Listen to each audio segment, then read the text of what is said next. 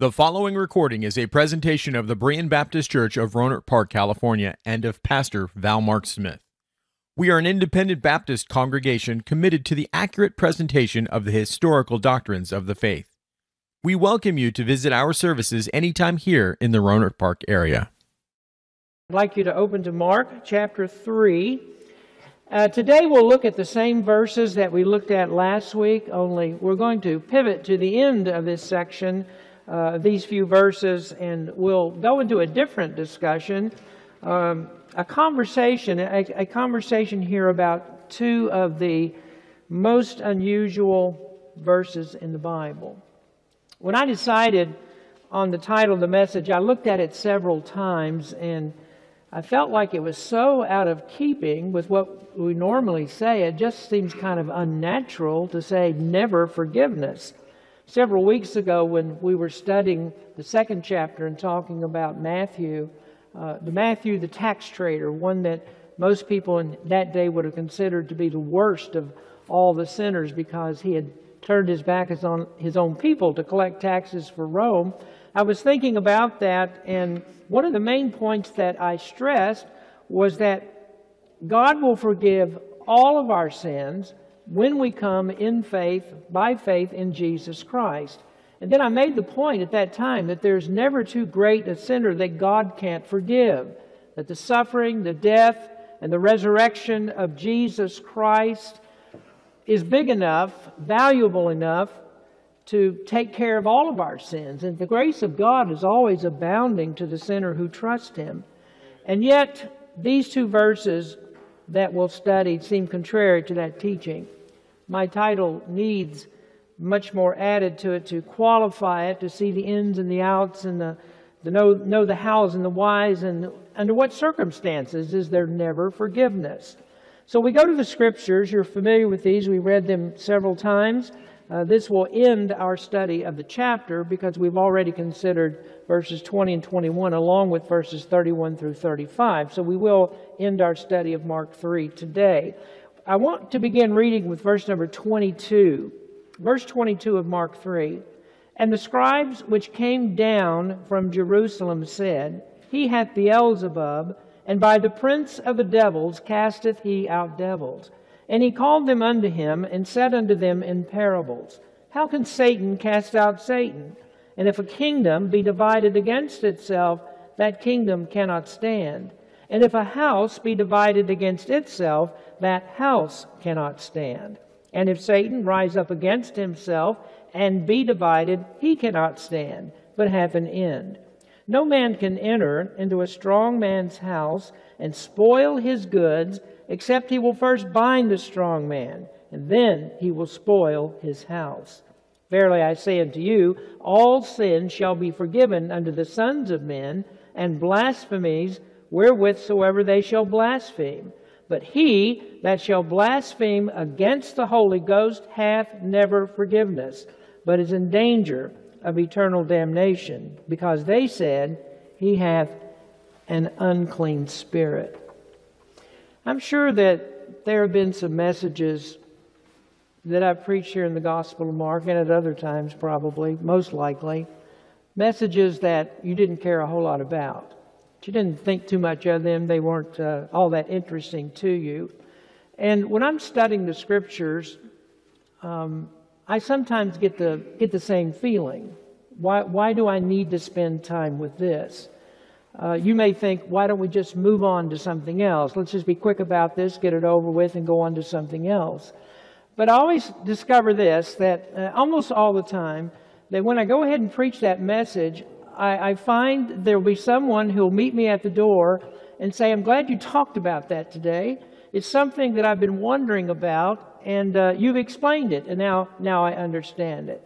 And I'm always happy when someone comes to me and tells me that they have a better understanding of the Word of God because of something that I preached on that day. Uh, and this is, this is what I'm here for. Uh, since the Bible is our only resource material, I do want you to understand it. And if you don't understand something that I say, I'm always available for, for more discussion about it to try to help you to reach understanding. As we look at today's topic, I, I think there's hardly anyone uh, who reads the Bible that doesn't find this an interesting topic. The title of my message even strikes a chord of, of uh, curiosity because it seems incongruous with what we know about God. The title, Never Forgiveness, doesn't seem quite right because we are quite sure that God is a forgiving God. God is in the business of forgiving people. A little over 10 years ago, we had a, a banner next to the sign out front of the church. And I don't know if you remember, but the sign said, Church without smoke and mirrors. And I took a survey of, of that just to see what people thought that saying meant. And I got a lot of different answers. And there was one that said this The meaning of this slogan is a church without judgment on the sins and transgressions of others. And that, I wondered at that. How did that person make that kind of connection with that saying? Uh, so I don't know exactly what they meant, but I will say this that we are a church that preaches from the Bible. And the Bible is very clear about what sin is. And it is very clear about the consequences of sin. We constantly make judgments about sin, and we must, because we have the responsibility uh, to name sin and help people when they're in the clutches of it and trying to get free from it. We, we are to teach about it. The Apostle John defines sin as the transgression of the law. And it is the transgression of God's written law and also those laws that are written on the human heart and there are consequences to sin. And the Bible gives us the ability to judge. And so we preach against sin, we warn people of the consequences of it, and when necessary, I don't mind at all naming specific sins. But at the same time, we're also quick to point out that God is willing to forgive people of sin.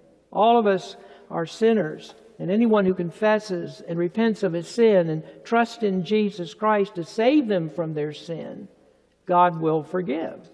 And if God forgives, we certainly don't hold ourselves above God and say that we will not forgive. And then I'll hasten to add that what you did in the past doesn't matter. At least it doesn't matter in the sense of God's forgiveness. No matter what you've done, no matter where you may have been, no matter how awful your sins are, if you confess them and forsake them, God will forgive. And that's the key always confession, repentance, faith in Jesus Christ, and without those, there is no forgiveness. So I think it's very clear that the Bible teaches that God is a forgiving God. He does forgive sin, and the Holy Spirit fills the Bible with many passages about God's forgiveness. Adam sinned, and his sin plunged the entire world into the darkness of the curse. But God forgave him. Abraham, that great patriarch of God, sinned, and God forgave him. And then, following Abraham, along comes uh, Jacob, a grandson. He sins against God and is forgiven. In the Judges, that was a terrible time of sin in Israel, and God forgave. In the kingdom of Israel, there were times when the sins of Israel were so heinous that they sacrificed their own children to heathen idols. And we just read a passage in Ezekiel a moment ago, Ezekiel 37, that shows that God's going to forgive all of that and bring Israel back and reunite them. Our God is a forgiving God. And God made this promise to Solomon in view of all of these things that God knew that Israel would get into. And he says to Solomon, uh, or Solomon, as he's praying, says this in Second Chronicles 7.14, If my people, which are called by my name, shall humble themselves and pray, and seek my face, and turn from their wicked ways, then will I hear from heaven, and will forgive their sin, and will heal their land. We see many wicked, heinous sins committed idolatry, idolatry, murder, adultery, homosexuality, drunkenness, lying, extortion, you name them all. And there are people who did those sins, and God forgave when they repented of them. And this is where I, I think sincerely about 1 Corinthians 6 that we read just a moment ago. Uh, I, I, read that without much comment, but I want you to turn there and read it again with me. Uh, this is a good passage to circle in your Bible. And when we are too quick to condemn others because of their sin, when we think that there's just no salvation for them, this is a good place for us to read. Paul wrote in 1 Corinthians 6, beginning in verse 9 Know ye not that the unrighteous shall not inherit the kingdom of God? Be not deceived neither fornicators, nor idolaters, nor adulterers, nor effeminate, nor abusers of themselves with mankind. And I'll stop here just briefly to remind you that effeminate and abusers of themselves with mankind refer to homosexual acts and just about everything or everything that is involved in the entire LBGTQ plus movement. Verse 10 Nor thieves, nor covetous, nor drunkards, nor revilers, nor extortioners shall inherit the kingdom of God. And such were some of you. But ye are washed, but ye are sanctified, but ye are justified in the name of the Lord Jesus and by the Spirit of our God. These were sins that the Corinthians committed. Paul names them, but they confessed and repented. And Paul says, You are washed from your sins, you are sanctified, and you are justified in the name of the Lord Jesus. And very simply, he means you have been forgiven of all these sins. And you are no longer fornicators or idolaters or adulterers and homosexuals and so on. You've turned away from those sins and you are forgiven.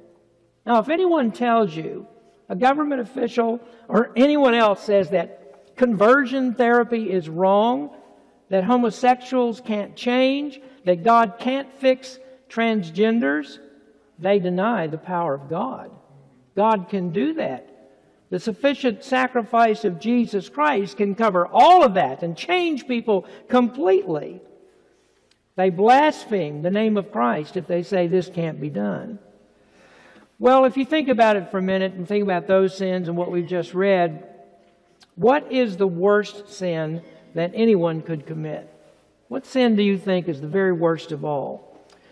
Well, as I think of it, I can't think of anything worse than crucifying Jesus on the cross. That's a terrible sin. I can think of nothing worse than beating him to a bloody mess, pressing a mocking crown of thorns into his head, driving nails into his hands and his feet, hanging upon the cross naked to be made fun of by the crowd, and in yet such a horrible scene, it was Jesus himself who said, Father, forgive them, for they know not what they do. Time after time, in worst case scenarios, the most heinous of all types of crimes, God says that He will forgive. And so we come to this passage, and it seems an enigma. I mean, it doesn't fit. In one sense, it, it can be most frightening because you may wonder have I, have I done this? Have I committed this sin? Have I gone this far that I've passed the point of no return? Have I committed this sin that God will not forgive? And that's a very important question, and one, if asked, supplies its own answer. And I'll take that up in just a few minutes and explain to you how. Now, let's, let's just back up a moment to consider first the circumstances of this sin that Jesus talks about. Jesus accused the scribes of committing this sin, but what were the circumstances of it? This is important, and we take our time to study so we can very clearly understand the context of these statements. I'm not going to go into it in detail, but in both Matthew and Luke, uh, they supply more information. Now, remember, as we're studying Mark, Mark is a shorter gospel account. It moves very quickly. In a flash, Mark will move from one scene to another, and we don't even assume that each scene is in chronological order. But Looking at the circumstance found in Matthew 12 and in Luke 11, this was immediately after Jesus had cast a demon out of a man who was blind and dumb. This was a, a, great miracle, and people were astonished that he could do such a thing. And they didn't doubt that it was supernatural. No one claimed that, well, this is sleight of hand. In fact, the miracle was, was so amazing that people posed the question is this the son of David? Or, in other words, could he be the Messiah? Is he the one that we're looking for? And at this point, the people weren't enemies of Jesus. They were stood back in wonder and amazement at what he could do. But the scribes and the Pharisees, they certainly were Jesus' enemies. They also knew a miracle happened. And if the people posed this question, could this be the Messiah? Well, they knew right away that they had to do something about it. They had to come up with some kind of an explanation for how he was able to do this. So they posed a theory to explain how he did it. How did he cast out the demon? That's what we studied last week. They said, This he does by the prince of demons. He cast out demons by the power of Satan. Of course, that's a ridiculous assertion. Jesus proved that it was by explaining that Satan is smarter than that. Satan does not cast out demons because it would divide his kingdom. It would have a kingdom in war with itself, and that kingdom could not stand. If it wars internally, it can't stand. And then further, Jesus proved his power over Satan by saying there must be someone more powerful than Satan to bind him. That's who he called the strong man. There must be some more powerful than he is to bind him and then has the liberty to go in and spoil his kingdom. And this is what Jesus did. He cast out the demon because he overpowered Satan. He snatched the man out of Satan's clutches. And this is when Jesus made the charge against them that they blasphemed against the Holy Spirit. They claimed he cast out the demon by the power of Satan. So, the circumstance that we're talking about here is the healing of a demon possessed blind man. And this sets up the condition that must exist before this sin is committed. Now, secondly, we look at the condition for the sin. The condition for the sin is that it was committed in the presence of great miracles that Jesus did. There is the claim that this is not God's work. The scribe says this belongs to Satan. Now understand, this is not the only time that they said this. Uh, this miracle is the one that brought it to a head. There were hundreds of like miracles before Jesus did this one. He went throughout all the towns and villages of Galilee. So there's hardly a town that you would think to mention where some type of miracle wasn't done. None of them were untouched. The religious leaders were always in these crowds and they're always seeing this. They're watching him do the miracles, and yet they were stiff necked and they were hardened in their unbelief. It was beyond reasonable doubt that Jesus came from God. And yet, in their pride and prejudice against him and their selfish desire to keep control and not to surrender to his authority, they audaciously claimed that his authority came from Satan. This is not the first time they whispered the words. Mark records that they said this before. They said that Jesus had an unclean spirit and he was demon possessed. So Jesus said, You have spoken blasphemy against the Holy Spirit, and you will not be forgiven of this sin. Well, let's take just a moment to talk about blasphemy. What is it? What is blasphemy? We can define it this way Blasphemy is intentionally and openly speaking evil against the holy God by defaming and mocking him. Blasphemy is intentionally and openly speaking evil against the holy God by defaming and mocking him. Now, keep that in mind for just a moment. Keep looking at that. Let me read something that Paul said in 1 Timothy chapter 1, verses 12 and 13. He said, And I thank Christ Jesus our Lord, who hath enabled me, for that he counted me faithful, putting me into the ministry, who was before a blasphemer and a persecutor and injurious. But I obtained mercy because I did it ignorantly in unbelief. Paul said, I was a blasphemer, but I have forgiveness. And Paul didn't exaggerate his former life.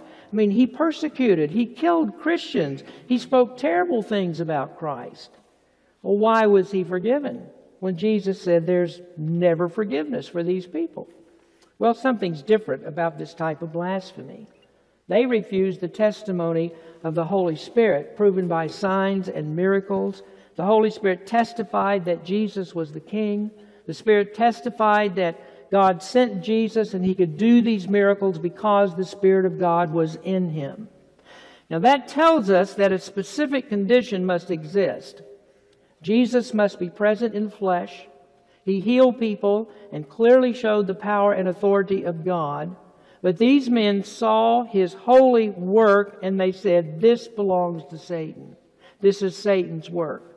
And they took this holy man, and despite all the evidence to the contrary, said, He is of the devil. Now, notice that Jesus said, All sins shall be forgiven unto the sons of men, and blasphemies wherewith soever they shall blaspheme.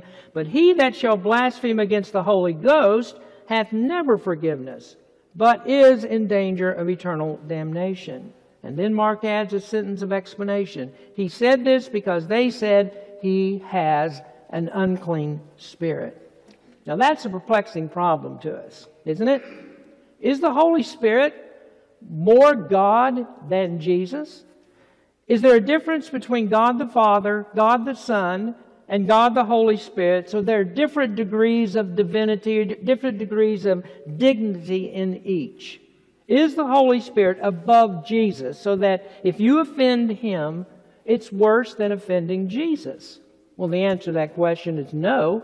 And here's one of the keys to understanding what's going on here. Matthew says in greater detail, Jesus said, You can speak against the Son of Man, and you can be forgiven. That's part of the all sins in Mark. Jesus said, Son of Man, because that's a reference to him in his humanity. This is the Son of God in his incarnation. This is when he stepped down and purposely put himself in subjection to the Father. Now, listen to this interesting little fact about Jesus. Do you know what his first words were recorded in Scripture? We don't have a baby book of Jesus in the New Testament so that we don't find a passage that says, you know, when Jesus was a baby on October the 5th, he said his first word, and it was mama. Well, no, uh, really, we don't have that. We do have his first words recorded in Luke 249 when he was 12 years old. Now I know he spoke long before that, but this is the first thing that's recorded in the Bible. And he said unto them, How is it that ye sought me? Wist ye not that I must be about my Father's business? So his very first words were about his subjection to his heavenly Father. And that's important because Jesus is talking about his humanity. He's telling us about his humility. That when he was here in the flesh, you could say anything about him and he would forgive it if you asked forgiveness. And we saw that just a few minutes ago at the cross when he said, Father, forgive them. They did the worst to him and he still forgave. Now, can you imagine as he was growing up how many times his brothers razzed him about his perfection? Mama never says he does anything wrong. He's always just a good boy. That's all mom ever says about him. He's a good boy. Can you imagine how many times that just irritated them and how um, and, and, how they must have pulled pranks on him because of that, trying to get him to do something, say something wrong. Probably happened all the time. It's because his brothers didn't believe in him either. They didn't believe the miracles that he did, and they didn't, as we studied earlier, they didn't believe until after he arose from the grave. But we get their feeling about him as we studied in verses 20 and 21 and verses 31 through 35 of this chapter. So this is Jesus in the flesh, veiled, he veiled his glory. He took on the flesh of men, and for them to commit a sin against him when he hid his majesty and the glory of God in human flesh, that kind of sin was pardonable. That was done all of the time. That was pardonable. Now, suppose for a minute that Jesus didn't veil his glory. Suppose that as the second person of the Trinity, he completely unveiled himself, making it possible to see him in the full blaze of his glory. What would happen? Well, first, you couldn't stand that glory. You probably would be vaporized instantly, but it would mean certainly your death if you could see God, see Jesus Christ in that glory. But suppose for a moment that you looked at him in the face of his glory and you said, You aren't God. You're from the pit of hell. What do you think would happen then? What happened? Do you think God would say, Oh, that's okay. That's not a problem. I know you're mistaken. You're, you're kind of mixed up about things. That, that'll be okay. No, if you think so, you need to read the back of the book. And there you'll find people in the tribulation after this age that, that blaspheme him. And when the king comes in his glory, he seals their doom in hell. So, this dichotomy between Jesus and the Holy Spirit shouldn't shake us up. The difference is Jesus in his incarnation versus the Holy Spirit in his full deity. So, Jesus is not this, not blasphemy against the Holy Spirit. There is never forgiveness. And do you know why? Because the person who does this does not seek repentance. The person who does this doesn't care. He is so hardened that even in the face of great miracles, he doesn't seek forgiveness. He has hardness of heart that the scriptures call a heart of stone. And here's another fact for you. Why do people repent of their sins? Why do they do it? Well, in Acts chapter 11, the apostle said, It is God that grants repentance. God gives repentance. And this is the problem here. These people are so willfully stubborn that they would not give God the glory for His work. They, they threw the Holy Spirit into the mud in the face of what God was clearly doing, and they would not repent because God would not give them that repentance. And this is when there's never forgiveness. If there's no repentance, God can't forgive. To forgive without acknowledgement of sin against the holy God violates God's holiness and justice. And this is something that everybody needs to be aware of. That if you have repented and you believe and you have forgiveness, all of that is God's work. You may have said, I repent, I confess, I believe. But if you did, it's because God already worked in your heart. Now, let's roll back a little to something I said earlier. What if you ask the question, Have I committed the unpardonable sin? Have I done this? Is there forgiveness if I ask, or no forgiveness? Now, if you ask, your question has its own answer.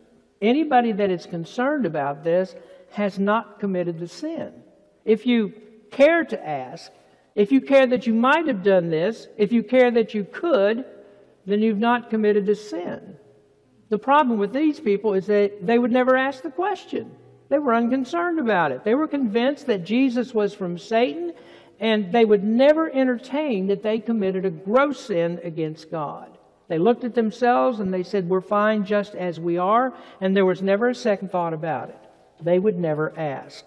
So if you wonder and you ask, you're not in their condition. You're not in their time. You're not in the place. You're not the, in the disposition they were in.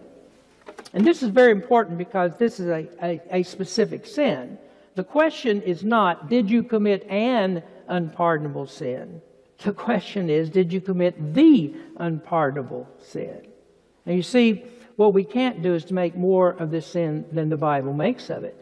This sin is only mentioned three times in the Bible, and all three times are the retelling of this same story. After this, Jesus died and he arose from the dead and he ascended back to the Father, and there is no more warning about this sin.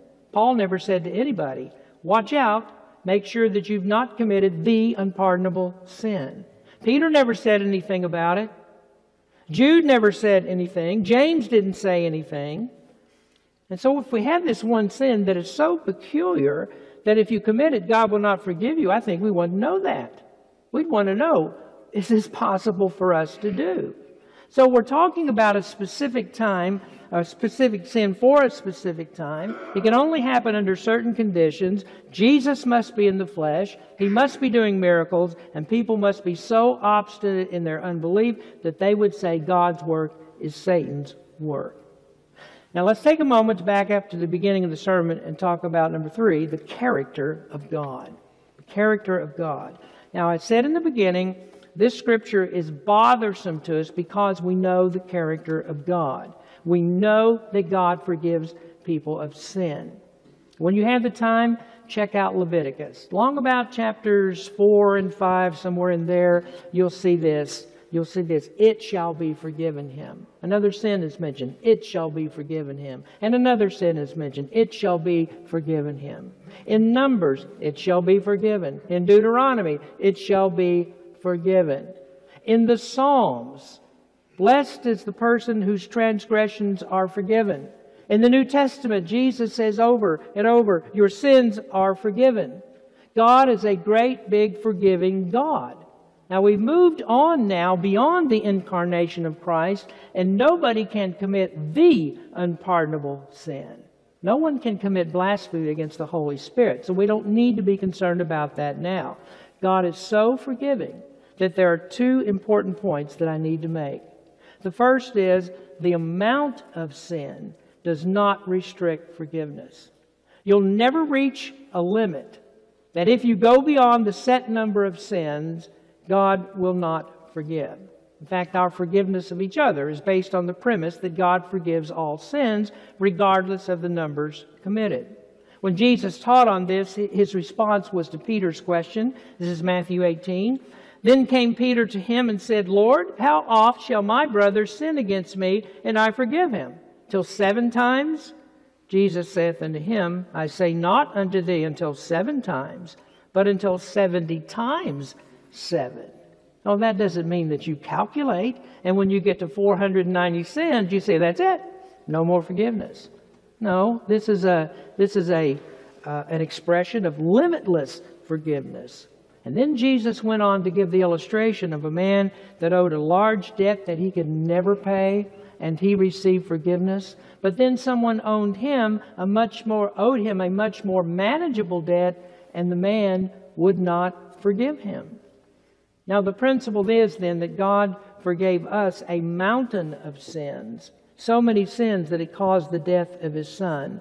And so, therefore, we are to forgive the transgressions of others that amount to nothing in comparison to what we've done to Christ. So, God doesn't concern himself with unpardonable sins. He's faithful and just to forgive us of all sins. And that shows us that the sin in Mark 3 must be so unusual that no one would mention it in, in any ordinary course of conversation about sin. So the amount of sin doesn't restrict forgiveness. Now, secondly, the extent of sin does not restrict forgiveness. Well, by extent, I mean sins that are committed to their worst conclusions. For example, there are sins that are committed with great brutality.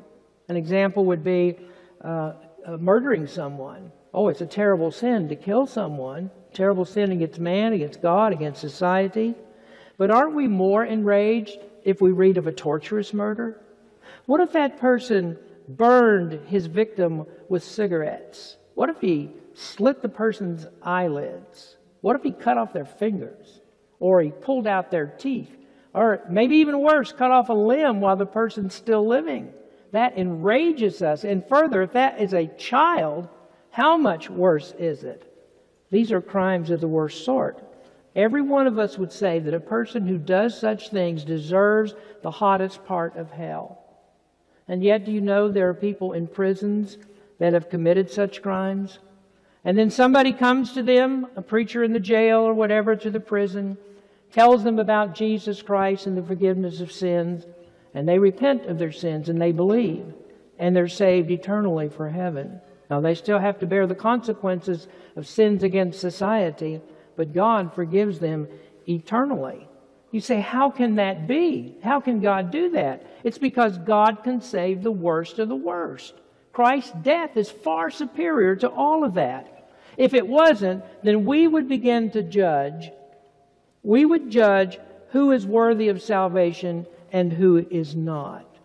We would look at ourselves and we would say, we are more deserving of salvation than that no good for nothing person down the street, that socially unacceptable person, they can't be saved.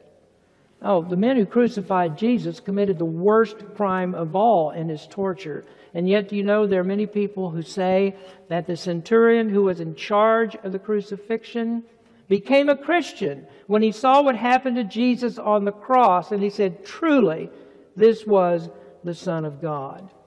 None of these people committed an unpardonable sin. And so when we look for candidates who may have committed the unpardonable sin, where do we find them? Who today has committed a sin that Jesus talks about in Mark 3? We see the worst of the worst in Jesus' day, even the ones who crucified Christ, and any of them could receive forgiveness. Who has done worse? How can we warn people about committing this sin when even Jesus didn't? And yet, facing us is the reality of an unpardonable sin. Not the unpardonable sin, but an unpardonable sin. What is this sin? Well, it's not one sin, it's all sins. Every sin is an unpardonable sin if we don't meet certain conditions. Now, folks, understand again the sin of blasphemy against the Holy Spirit is the unpardonable sin. We can't commit that sin today. There was a fellow who uh, wrote a gospel tract that was here when I first became pastor. And this fellow said in his tract, There is only one sin that condemns to hell. It is the sin of unbelief. If you repent of the sin of unbelief and that sin only, you can go to heaven. And I threw those tracts away because that is a misrepresentation of repentance. You must repent of all your sins to go to heaven. Any sin that's unrepented is an unpardonable sin. But here's the thing you'll not repent of any sin when you're in unbelief. Nobody ever said, Well, God, I'm sorry for my sins, I repent, but I don't believe that Jesus died and rose again from the grave and he died for my sins. Nobody ever says that. Repentance and faith are twin graces. You can't have one without the other. Everyone who repents, truly repents, believes. And everyone who believes truly repents. And if that doesn't happen, then they're not, they can't be saved. Now, here's the salient point that I want you to get from this there is an unpardonable sin which is chief of all. It's the sin of the rejection of Jesus Christ. It's the sin of turning your back on the one that died for your sins. It's refusing to believe that he is the Christ, the Savior of the world. You don't concern yourselves with what the scribes said. Well, it's a good thing that I, and you say, it's a good thing I'm not like them. I can't commit that sin, so it's a relief. No, you can't say that when you're still in unbelief. If you die that way, rejecting Jesus Christ, you can lift out the end of verse 29 and apply it to you. You are in danger of eternal damnation. This is not about the possibility of parole, it's emphatic. There is never forgiveness for this sin. Well, there are many people that preach this passage and they say the unpardonable sin is the sin of unbelief. And you know why that doesn't work? It's because all of us were once in unbelief. Every one of you, before you came to Christ, you were in unbelief. Every unbeliever is in unbelief. And so, if you are here today and you have trusted Christ as your Savior, God forgave your unbelief. And the condition was your repentance and faith in Jesus Christ and turning from those sins. Now you're on your way to heaven. So, unbelief is an unpardonable sin if you stay that way. If you walk away and you say, I will not believe, and you stay that way, there is no forgiveness for your sin. If you slip out into eternity by way of an auto accident or a heart attack or some other illness still in unbelief, you suffered the eternal wrath of God because of your sins. There's a little hope. There's no hope after life if you have not repented, if you die in unbelief. Now, I hope that you understand this. We can tell you about sin. We can judge which things the Bible says are sins. The Bible clearly tells us what they are. It also says that all people are sinners and all people need forgiveness. We can tell you how to receive forgiveness. I can't forgive you of your sins, but I can tell you who can. I know that God forgives. Of that, there is no doubt.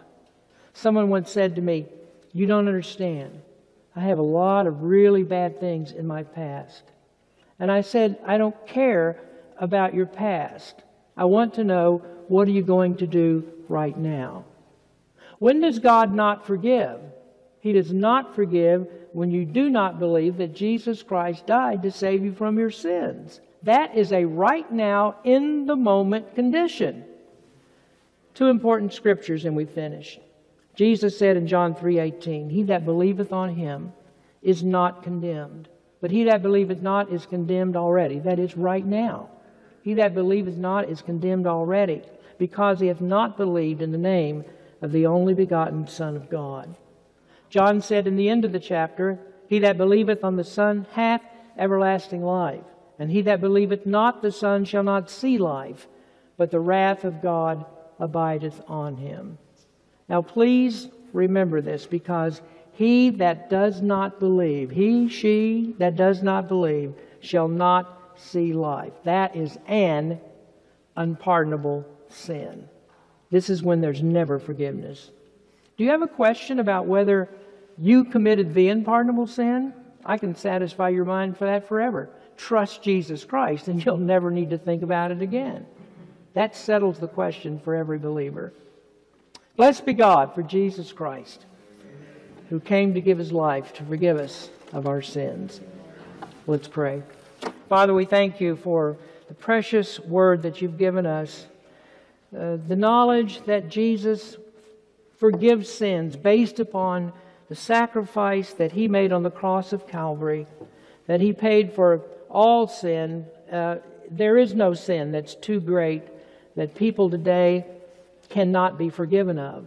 And Lord, as we look at the condition of our world today and so many terrible things that go on, and then those who say, we can't be delivered from this, there's no way we can change from this, from what God says is so clearly sin, and they say it can't be done, the Bible says it can be done, it will be done by faith in Jesus Christ. Help us to preach that truth and not be afraid to name sin. And then to put our everlasting hope and confidence our security in the one who forgives sins forever, Jesus Christ. Thank you, Lord, for what he did for us. Bless our people. We pray anyone here who might have felt some conviction uh, in the message today, speak to their hearts today. Otherwise, draw us all closer to you because of what we heard. We give you the praise for it. In Jesus' name we pray. Amen.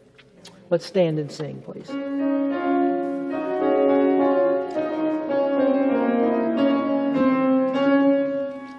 God of grace, amazing wonder, irresistible and free. Oh, the miracle of mercy, Jesus reaches down to me. God of grace, I stand and wonder as my God restores my soul.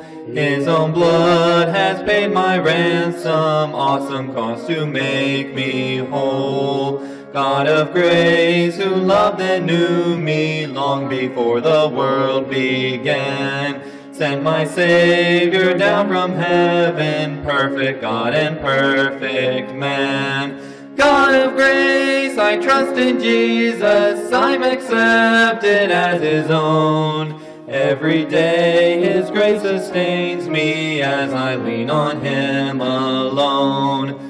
God of grace, I stand astounded, cleansed, forgiven, and secure. All my fears are now confounded, and my hope is ever sure. God of grace, now crowned in glory, where one day I'll see your face, and forever I'll adore you in your everlasting grace. That was emphatic. We'll say that. Get that truth for sure. Uh, Luke chapter 17 is our benediction today. Uh, verse number 3. Take heed to yourselves. If thy brother trespass against thee, rebuke him, and if he repent, forgive him. And if he trespasses against thee seven times in a day, and seven times in a day turn again to thee, saying, I repent, thou shalt forgive him. And the apostle said unto the Lord, Increase our faith. I've read that so many times, and most people would put increase our faith by itself or include it with the next section. And I'm thinking, no, when the apostles heard this, they're used to a system where you don't forgive people like this. I mean, once maybe, second time, slap them across the head. Jesus said, You keep forgiving if they keep asking for forgiveness. And that is modeled on his own example, what he did for us. So praise God you're here with us today. We thank you for being here. God bless each and every one of you. We do invite you to stay and have lunch with us, and uh, then we'll have our business meeting right after we, we finish eating today. So let's have a word of prayer, and we'll ask God's blessing upon the food, and then we, will fellowship together. Father, thank you for this time we've had to spend in your word today. Thank you for your people, and, and then the opportunity we have to fellowship. We do thank you for uh, those, uh, the ladies that are in the kitchen now who uh, prepared things for us and made it possible for us to have the luncheon today, and for all the folks that brought in food.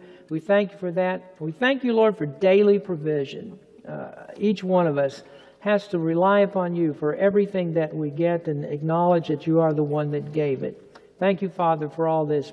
Help us, Lord, to do your will this week as we encounter others and tell them about Christ. In Jesus' name we pray. Amen. Thank you for listening to this presentation of the Berean Baptist Church of Rohnert Park, California. If you would like further information about our church, please feel free to call us at area code 707 584 7275 or write to us at Berean Baptist Church, 6298 Country Club Drive, Rohnert Park, California, 94928. Additionally, you may visit us online at www.bbaptist.org.